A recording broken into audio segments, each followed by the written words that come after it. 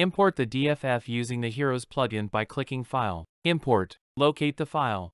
Remove Auto Smooth and instead choose Explicit Normals to import original smoothing.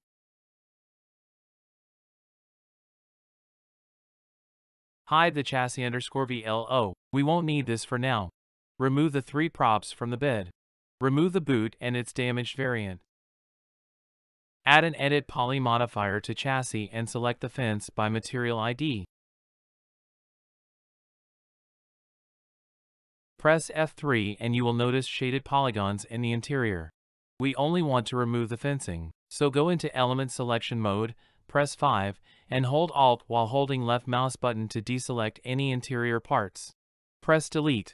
Remove the two black triangles atop the frame. Press F4 for wireframe display. Perform an edge selection at the two ends of the box adjacent to the rear of the cab. Click Bridge. Do the same with the larger box part of the frame. Go into border selection mode and cap the two holes in the pipes nearby. Alternatively, select and detach the bottom of the pipes back to the pipe as a new element. Move them into the correct position using vertex snap and flip their normals.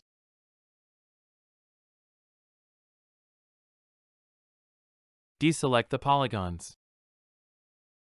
Select all vertices with Ctrl A, and weld at a threshold of 0.001 to rebind the mesh. Deselect the vertices. Select the polygons that you filled earlier. Add an Unwrap UVW modifier.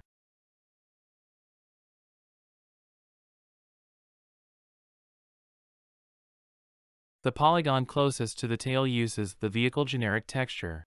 The part of the texture right above the undercarriage works fine. Do a planar projection for this polygon.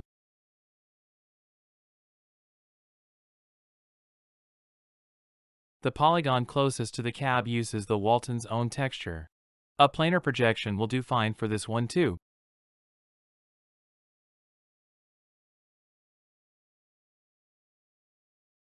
Back to the chassis underscore VLO, isolate the model and head into element selection mode and delete the fence.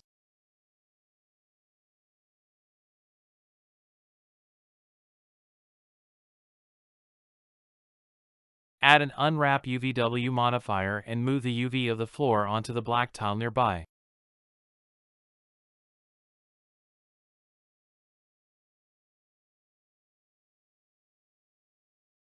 You can now export to DFF.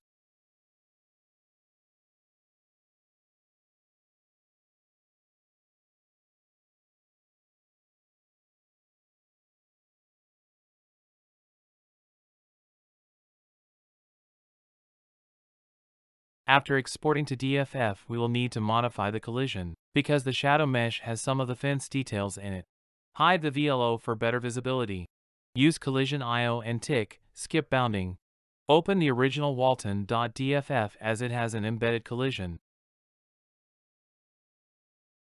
Select the shadow mesh and add an edit poly modifier. Press 5 for element selection and select the fence and the floorboard. Press delete. Select the collision mesh frames two triangles and pull them down to roughly same height as the shadow mesh.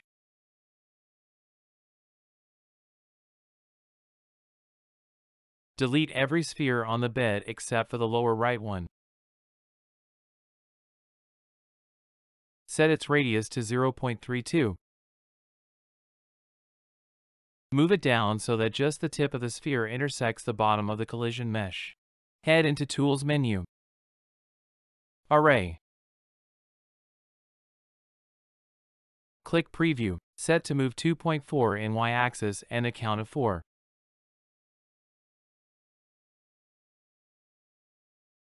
Select the spheres and access Array again. Set the same values, except this time move minus 2.1 in x.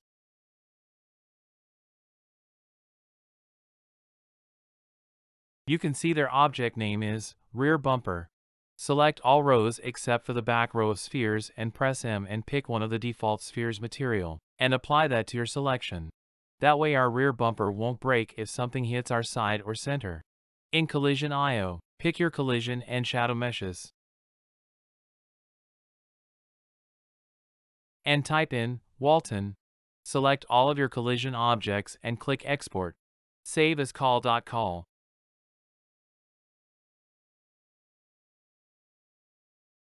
Create a box. Center it to scene. The size doesn't matter. Add a UVW map modifier and edit poly modifier. Apply a standard material to your box. Open DFF.io.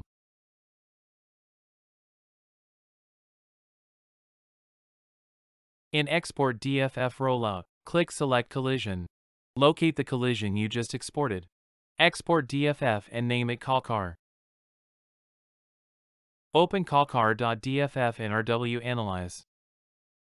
Scroll down to the bottom and extract the bottom blue extension. Name it col without any file extensions. Open your custom Walton DFF.